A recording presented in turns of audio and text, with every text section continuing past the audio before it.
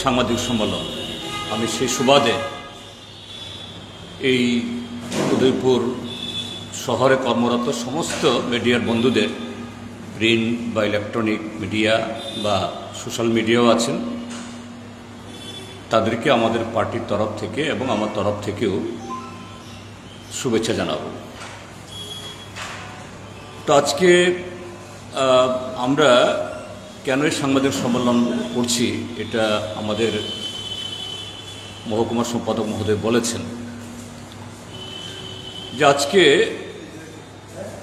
Kakraban RD ব্লকে আমাদের একটা গণডেপুটেশন সংগঠিত করার সিদ্ধান্ত এটা আরও প্রায় এক সপ্তাহ আগে থেকে নেওয়া হয়েছিল।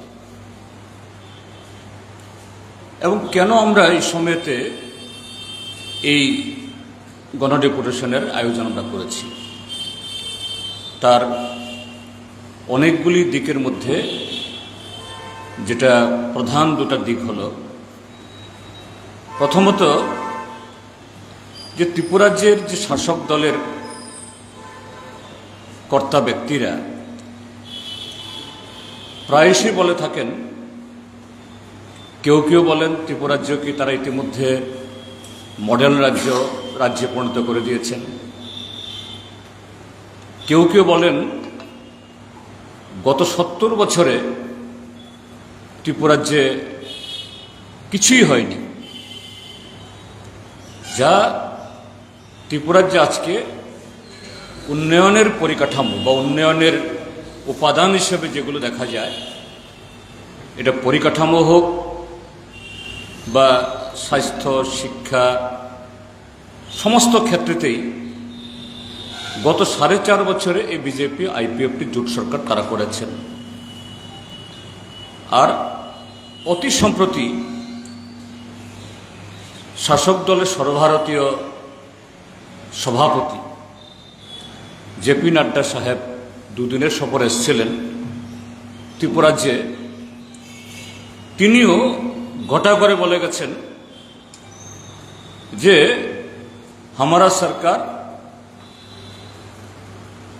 2018 का चुनाव में जो वादा किया था ত্রিপুরাজ্যের মানুষ এটাকে আরো ভালোভাবে এটাকে জানেন সেটা হলো দুই হাজার আঠারো নির্বাচনে আমাদের দেশের মাননীয় প্রধানমন্ত্রী আরও তাবর তাবর মন্ত্রীদের দিয়ে তারা একটা ভীষণ ডকুমেন্ট প্রকাশ করে গেছিলেন। ঠিক আছে, বক্তৃতাতে নানা কথা বলে, কিন্তু একেবারে লিখিতভাবে দিয়ে গেছেন, হাতে তুলে দিয়ে ত্রিপুরাজ্য মানুষকে তার দুইশো নিরানব্বইটা প্রতিশ্রুতি, ত্রিপুরাজ্যের তারা তো বলবেনই নিজেদের দোল তারা বাজাবেন, যতই এই রাজ্যের মধ্যে তাদের অপদার্থতা দায়ী থাক। নাড্ডা সাহেব এসে সাড়ে চার বছর সরকার যাওয়ার পর তার একটা সুযোগ ছিল। তার দলের সরকার সত্যিকারের কি কাজ করেছে? তাকে দিয়ে বা শতপ্রণোদিত হয়ে তিনিও ত্রিপুরাজ্যে তাদের দলের যে পারফরমেন্স এটা দেখে কিছু সত্য কথা বলে যে পাপ তারা গত সাড়ে চার বছর করেছে, এটা খলনের একটা সুযোগ ছিল। কিন্তু এটা না করে তিনি বলে গেছেন যে ভীষণ ডকুমেন্টের সবকটা প্রতিশ্রুতি তারা পালন করে গেছেন। এটা একটা দিক। আর একটা দিক হল, কাকরাবন আমরা গত বিধানসভা নির্বাচনে হেরেছি। ইয়া, না না, ত্রিপুরাজ্যে আমরা হেরেছি। কিন্তু তার মধ্যে যে ষোলোটা বিধানসভা কেন্দ্রে আমরা জিতেছি, তার মধ্যে কাকরাবন বিধানসভা কেন্দ্র অন্যতম এবং এটা শুধু গেল নির্বাচনে না। এটা বিগত প্রায় চল্লিশ বছর ধরে এটা আমাদের একটা অন্যতম একটা শক্তিশালী ঘাঁটি। এই নয় যে গত নির্বাচনে বা আগে নির্বাচনগুলোতে কমরেড কেশব মজুমদার যখন প্রতিদ্বন্দ্বিতা করতেন, এই যে গত সাড়ে চার বছরের নির্বাচনের যে নমুনা আমরা দেখেছি, যে এরকম করে এই সিটগুলো আমরা জিততাম তা নয়, জনগণের সমর্থনে এবং বামপন্থী ফ্রন্ট সরকার আসার পর পারফরমেন্স অর্থাৎ কাজ করার সুবাদে মানুষের তার যে কৃতজ্ঞতা, ইতিবাচক ভোট আমরা দিতে আসি। কিন্তু দুই হাজার আঠারোতে এই মিথ্যা প্রতিশ্রুতির উপর ভর করে বিজেপি আইপিএফটি জোট সরকার আসার পর আমাদের সেখানকার যিনি প্রতিনিধি, আপনারা সবাই চেনেন, আপনাদের উদয়পুরের মানুষ কমরেড রতন ভৌমিক, তার এই বিধানসভা কেন্দ্রে বিভিন্ন গ্রামে যাওয়ার তার সুযোগ নেই। এমনকি তার বাড়িঘর অব্দি আক্রান্ত হওয়ার মতো অবস্থা। তার উপর নাই নাই করে যে বিধানসভা কেন্দ্র বা যেখানে তিনি জন্মেছেন, জন্ম, কর্ম, মানুষের জীবনমান উন্নয়নের জন্য লড়াই সেই রতন ভৌমিককে বারবার এই বিধানসভা কেন্দ্রের ভেতরে তাকে আক্রমণ করা হয়েছে, রক্তাক্ত করা হয়েছে। তার রক্তে ওই বিধানসভা কেন্দ্রের মাটি রঞ্জিত করা হয়েছে। তা আমাদের যে আজকে এই ডেপুটেশনের যে দ্বিতীয় প্রধান উদ্দেশ্য ছিল যে না সরকারের অনেকগুলি অফিস আছে, দপ্তর আছে। তার মধ্যে ব্লক হলো এমন একটা দপ্তর, এটা কোনো একটা দপ্তর না। নামি ব্লক, অর্থাৎ উন্নয়নের সমস্ত শাখা, প্রশাখা, তার সাথে এই ব্লক অফিসসমূহ ওতপ্রোতভাবে যুক্ত। সেই জায়গায় গিয়ে আমরা একটা ডেকোরেশনের মাধ্যমে জনগণের বক্তব্য, জনগণের আশা আকাঙ্ক্ষার কথা, জনগণের ক্ষোভের কথা, স্বপ্নভঙ্গের কথা আমরা জানাব। তো এই জন্য আমাদের কর্মসূচি। তো এই জায়গায় আমাদের ডেপুটেশনে তো ভীষণ ডকুমেন্টের দুশো নিরানব্বইটা প্রতিশ্রুতি, এগুলি আমাদের ডিমান্ড চার্টারে আমাদের এই স্মারকলিপিতে এগুলি না। আমাদের স্পেসিফিক দশটা। কোন দশটা? যে বামপন্থী ফ্রন্ট সরকার থাকার সময়তে রাস্তা করে গেছে, নতুন রাস্তা তারা করেনি। গত সাড়ে চার বছর সে রাস্তা চৌচির হয়ে আছে। কোনো মেরামত নেই। বামপন্থী ফ্রন্ট সরকার থাকার সময়তে হাসপাতালের বিল্ডিং তৈরি করে গেছে। তখনই টাকা পয়সা সব মঞ্জুর করে গেছে। সেই হাসপাতাল, ঘর, এটা উদ্বোধন করে এই সরকার, তারাই ফিটা কাটবেন। রতন ভৌমিককে তো ওরা নিমন্ত্রণ জানাবেন না। এই সৌজন্য তাদের নেই। কাকরামনের মানুষ সে পরিষেবা পাবে সেই নতুন পরিকাঠামো থেকে। কাকরামন ব্লক এলাকা ত্রিপুরাজ্যের শেষ সেবিত যে সমস্ত এলাকার মধ্যে অন্যতম। কারণ এখানে সুখসাগর থেকে আরম্ভ করে আরও অনেকগুলো এবং এই কৃষি এরিয়া এবং খুবই অ্যাডভান্স কৃষকরাও আছেন সেখানে, সবজি ফলান, তিন ফসল করেন। খুবই পরিশ্রমী মানুষ। গত সাড়ে চার বছরে বামপন্থী ফ্রন্ট সরকার যে সমস্ত সেচের প্রকল্প গড়ে গেছে, সব মুখ থুবড়ে পড়ে আছে। কোনোটার মোটর খারাপ, কোনোটার পাইপ ভেঙে গেছে, কোনোটার বিদ্যুতের কানেকশন নেই, কোনোটার স্টাফ নেই। তার সাথে হলো পানীয় জলের বন্দোবস্ত। বামপন্থী ফ্রন্ট সরকার থাকার সময়তেই অনেকগুলো এরকম উৎস তৈরি করে গেছে সেখানে ফিল্ট্রেশনের জন্য। সেখানে প্ল্যান লাগানো আছে। এগুলো চালু করে জনগণের কাছে বিশুদ্ধ পানীয় জল সরবরাহ করা। তার সাথে হল যে বামপন্থী ফ্রন্ট সরকার থাকার সময়তেও এই যে আমাদের গ্রামেগঞ্জে প্রভূত উন্নয়ন হয়েছে, তার জন্য তো আমরা কৃষকদের কাছে বা গ্রামীণ পরিবারের কাছে থুকে থুকে নগদ টাকা আমরা দিয়ে এসছি বা সেরকমভাবে মঞ্জুরি করতে পেরেছি বা করেছিলাম, তা তো না। যে এই উন্নয়নের অন্যতম হাতিয়ার বা উৎস ছিল রেগা। একদিক থেকে একশো দিনের কাজের গ্যারান্টি আরেক দিক থেকে সেই রেগার যে শ্রম, এই শ্রমের তার উপযুক্ত ব্যবহারের মধ্য দিয়ে সেখানে অনুর্বর জমি এটাকে উর্বর করা হয়েছে, জমির ক্ষেত্রবৃদ্ধি করা হয়েছে, টিলা জমিতে রাবার, আনারস অন্যান্য যে কি বলে, ক্যাশ ক্রপ হয়েছে, গ্রামীণ রাস্তাঘাট হয়েছে,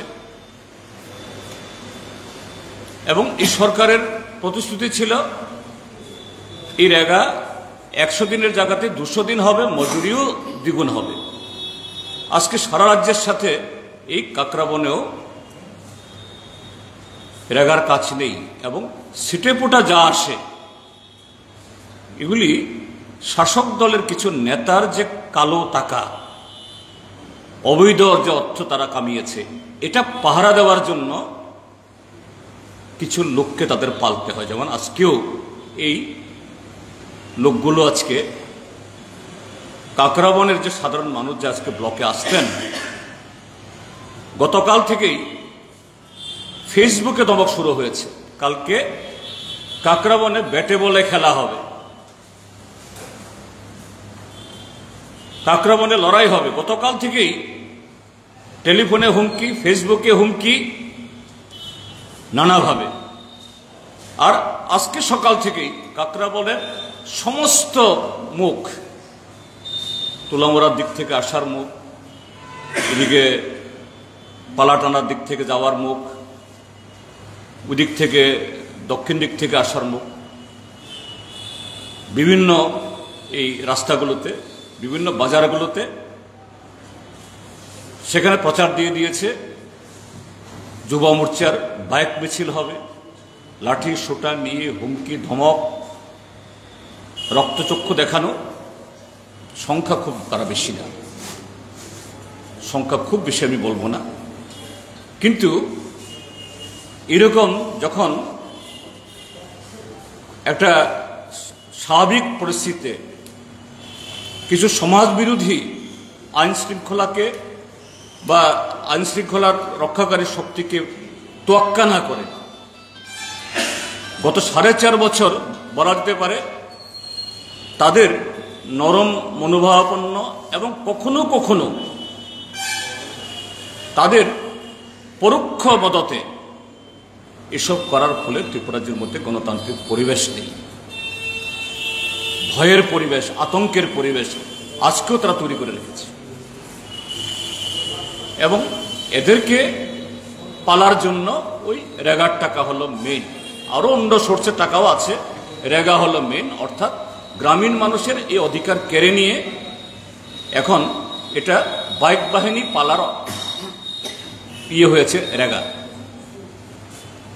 যার ফলশ্রুতি মানুষ গড়ে প্রকৃত যারা এই রেগার কাজ যাদের প্রয়োজন, তারা তিরিশ, পঁয়ত্রিশ দিনের বেশি পান না। তিরিশ, পঁয়ত্রিশ দিন কাজ করলেও সঠিক সময় মজুরি পান না। আর সেই শ্রম দিয়ে যে নতুন অ্যাসেট তৈরি হবে, স্থায়ী সম্পদ তৈরি হবে, সেই সম্পদ আর আগে দেখা যায় না। বামফ্রন্ট সরকারের সময়তে যা হয়েছে আজকে তাই। তার সাথে যে প্রাইম মিনিস্টার আবাস যোজনা দুই হাজার এগারো ইংরেজিতে যখন সোশিও ইকোনমিক কাস্ট সেন্সাস হয়, ওই সময়তে আমি দপ্তরের মন্ত্রী ছিলাম গ্রাম উন্নয়ন দপ্তরে। এই ত্রিপুরা থেকেই এই গ্রাম উন্নয়ন দপ্তরের হাত ধরে সারা দেশে এই সোশিও ইকোনমিক কাস্ট সেন্সাস তৈরি হয়েছিল। এই সেন্সাসের মূল উদ্দেশ্য ছিল, কাদের ঘর নেই? তাদের জন্য ঘর দেওয়া হবে, সেখান থেকে তালিকা তৈরি করা হবে। এবং সেই এগারো সালের সেন্সাসে তালিকা তৈরি হয়েছে। সেই তালিকা অনুযায়ী ঘর হবে। এগারোর পর দুই হাজার আঠারো অব্দিও বামপন্থী ফ্রন্ট সরকার থাকার সময়তে প্রত্যেক বছরে পঁয়ত্রিশ থেকে পঞ্চাশ হাজার ঘর হয়েছে। কিন্তু তালিকা বড়। এই তালিকা অনুযায়ী ঘর হবে। তো এই গভর্নমেন্ট আসার পর, দুই হাজার আঠারোতে আসছে আঠারো উনিশে কোনো ঘর দেয়নি উনিশ কুড়ি কোনো ঘর দেয়নি কুড়ি একুশ ঘর দেয়নি। প্রায় চারটা বছর মানুষের এই প্রাপ্য এগারো সালে যে বেনিফিসিয়ারি তালিকা তৈরি হয়েছে, এটাকে আটকে রেখে দিয়ে গত বছর তারা পিএমআইএর নামে একসাথে কিছু ঘর দিল। কিন্তু এই তালিকা বর্তমান বিজেপি সরকারের তৈরি করা তালিকা না, বামফ্রন্ট সরকার যে তালিকা তৈরি করে গেছে। তো তারা কি করছে? তারা করছে এখন কি? ওই তালিকা থেকে কীভাবে নাম বাদ দেওয়া যায়? কিন্তু সবার নাম বাদ দিতে পারেনি। ত্রিপুরাজ্যের সব কটা ব্লকে, আটান্নটা ব্লকে এবং বিশটা নগরেই যে ঘরগুলো হয়েছে পাঁচ থেকে এক একজন বেনিফিশিয়ারির কাছ থেকে সর্বোচ্চ আমাদের কাছে যা খবর, চল্লিশ হাজার টাকা অবধি এরা এই টাকা ভাগ নিয়েছে। তো আমরা, আমাদের এই দশ দফা দাবির মধ্যে এটাও ছিল যে সমস্ত পিএমওয়াই যারা বেনিফিশিয়ারির তালিকা হয়েছে তাদের ঘর দিতে হবে। এই বিজেপি সরকারের, তাদের এই ক্ষমতা নেই। তাদের এই নৈতিকতা নেই কারোর নাম বাদ দেওয়ার। কিন্তু দিচ্ছে না। কাজে এই সমস্ত দাবি নিয়ে আমরা যাব। কারণ সরকার বলছে সব হয়ে গেছে। সরকার বলছে ত্রিপুরা যে অনেক কিছু করে ফেলেছে। আমি বলতে চাই, শুধু কাকরাবন ব্লক না, এই উদয়পুর মহকুমা গোটা গোমতী জেলাতে গত সাড়ে চার বছরে মানুষের চোখে পড়ার মতো আঙ্গুল দিয়ে দেখানো যায়, বলা যায়, এরকম কোনো কাজ করেছে? এই সরকার কিচ্ছু করেনি। সরকার একটা থাকলে, যে সরকারই থাকুক, কিছু প্রকল্প তো আসবে, এগুলো এসছে, তার সুযোগ মানুষ পায়নি। তার জ্বলন্ত উদাহরণ হলো এই যে আমাদের পার্টি অফিসের সামনে, কি সাগর কয়টারে জগন্নাথ দিঘি। কমরেড রতন ভৌমিক যখন পর্যটন মন্ত্রী ছিলেন, তখন বহু চেষ্টা করে সেখানে যারা এরকম ডিপিআর তৈরি করে, এই ডিপিআর তৈরি করার মধ্য দিয়ে পর্যটন মন্ত্রকের কাছে পাঠিয়ে আমিও তখন সাংসদ ছিলাম। সাংসদ হিসাবে আমিও বারবার পার্শ্ব করেছি। এগুলি মঞ্জুরি হয়েছে উদয়পুরে সৌন্দর্যায়নের জন্য। কি অবস্থা? এ কদিন বৃষ্টি হয়েছে বলে একটু জল দেখা যায়। এটা এখন দিঘিও না ধান খেত না। কোথায় গেল?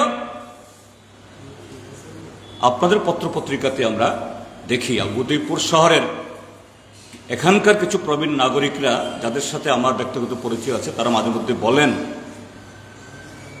যে উদয়পুর শহরের একজন শাসক দলের মানে হুমরা চুমড়া। শুধু হুমরা চুমড়া না আরও সাংঘাতিক ক্ষমতাশালী মানুষ। তার পরিবারই তো সব শেষ করে দিল। এই প্রকল্প কবে শেষ হবে? ইতিমধ্যে প্রচুর টাকা শেষ হয়েছে।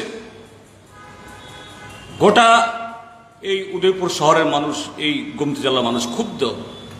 তাদের এই গর্বের শহরের এরকম একটা যে মনোরম দৃশ্য, এই গত সাড়ে চার বছরে এটাকে তারা বিলীন করে দিয়েছে। তো যদি এই সাড়ে চার বছরে কারও শ্রীবৃদ্ধি হয়ে থাকে আপনারাই উদয়পুরের মানুষ আমার থেকে ভালো জানবেন। কোন পরিবারের কয়টা ফরেন লিকারের দোকান, কয়টা এই পেট্রোল পাম্প হয়েছে আপনারা জানেন? হ্যাঁ আগের থেকেও তারা পয়সাওয়ালা ছিল ছিল না কথা বলছি না।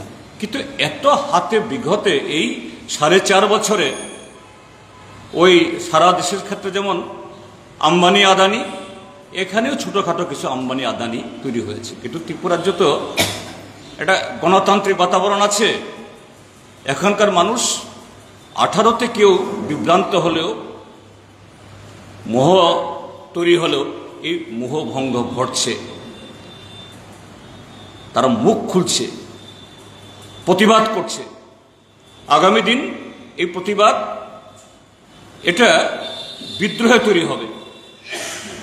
কাজেই শাসক দলের তরফ থেকে বিরোধী দলের এই গণতান্ত্রিক যে উদ্যোগ, আজকে গণডেপুটেশন এটাকে আটকাতেই হবে। ওপেন ফেসবুকে ধমক দিচ্ছে, কালকে খেলা হবে, ভেটে বলে লড়াই হবে, রক্ত জড়বে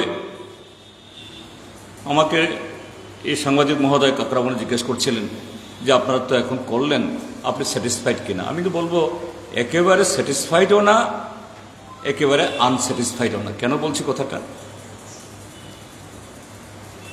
যে আমরা একটা গণডেপুটেশন দেব, আমি ডিজিকে বলেছি। যদি শাসক দলের সেদিন প্রোগ্রাম থাকে, আমরা করব না, তাদের করতে দিন।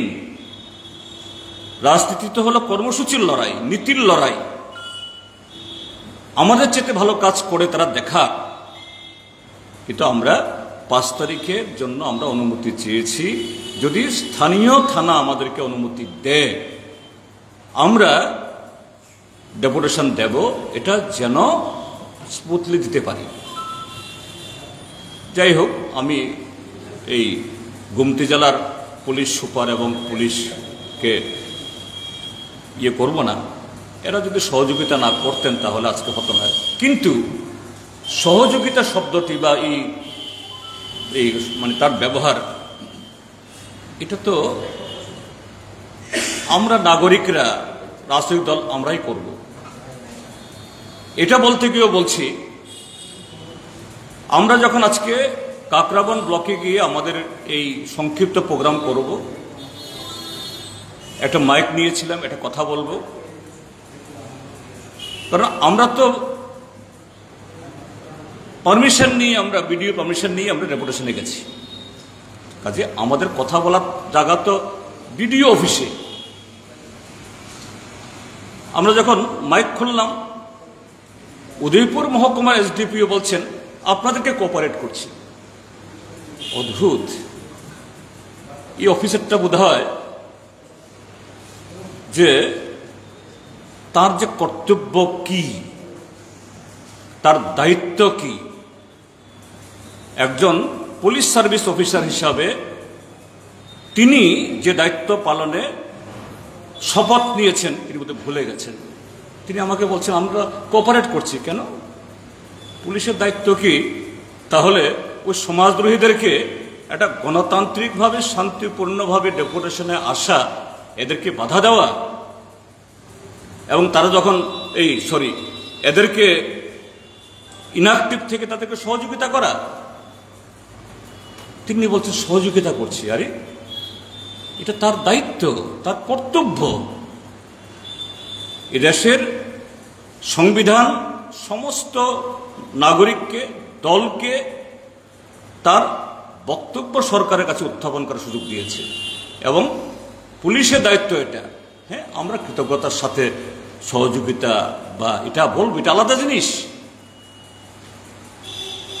কাজে গত সাড়ে চার বছরে কিছু পুলিশ অফিসার তাদের দায়িত্ব জ্ঞান ভুলে গেছে, আমি খুব বিনয়ের সাথে তাদেরকে বলব। ত্রিপুরাজ্যের মানুষ বহু সহ্য করেছে। বহু সহ্য করেছে। যারা এইভাবে মানুষের গণতান্ত্রিক অধিকারকে খর্ব করতে চায় সেই রাজনৈতিক দলকেও ক্ষমা করবে না, আর তাদের জন্য যারা চামচাগিরি করছে এরকমভাবে, তারাও ছাড় পাবে না। ত্রিপুরা যে জনগণ, তার হিসাব নিকাশ করবে। তো এই হলো আজকে আমাদের গণ ডেপুটেশন মূল উদ্দেশ্য। এর মধ্য দিয়ে উদয়পুর মহকুমার যে গণতন্ত্র প্রিয়, উন্নয়নকামী মানুষকে আমি বলতে চাই, এখানে শাসক দল এরকমভাবেই মুষ্টিমেয় বাহুবলীদের নিযুক্ত করে গণতান্ত্রিক কণ্ঠস্বরকে দাবিয়ে রাখতে চেষ্টা করছে কেননা এরা ভয় পাচ্ছে।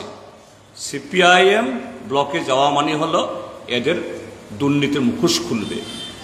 সিপিআইএম মাঠে নামা মানে হলো এদের সমস্ত কুকর্ম মানুষ আরও জানবে, কাজেই জবরদস্তি করে প্রশাসনকে ব্যবহার করে এই টুটি চেপে ধরো, এইভাবে পারবে না। আমি ধন্যবাদ জানাব। এই শাসক দলের সমস্ত রক্ত, রক্তচক্ষু এবং প্রবল বৃষ্টি রক্ষা করেও যারা আজকে আমাদের কর্মসূচিতে অংশগ্রহণ করেছেন, আগামী দিনে এই সংখ্যা আরও বহুগুণ বাড়বে এবং আপনাদের কাছে অনুরোধ থাকবে জনগণেরই বক্তব্য শুধু আমাদের বক্তব্য না এটা, এটাকে জনসমক্ষে আপনাদের মাধ্যমের অর্থাৎ মিডিয়ার মাধ্যমে তুলে ধরার মধ্য দিয়ে এটা সেই গণতান্ত্রিক দায়িত্ব আপনারা পালন করবেন, আমি এটা আশা রাখি। কোন প্রশ্ন থাকলে করতে পারেন, বা আপনারা, আমার, আপনারা বলবেন।